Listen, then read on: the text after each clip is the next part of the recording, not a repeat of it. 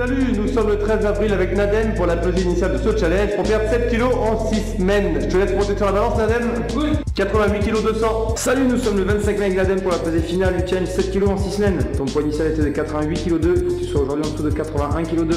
Ça te paraît jouable? Avec Training Academy, c'est toi dans Allez super, on tire la balance. 76 kg 3.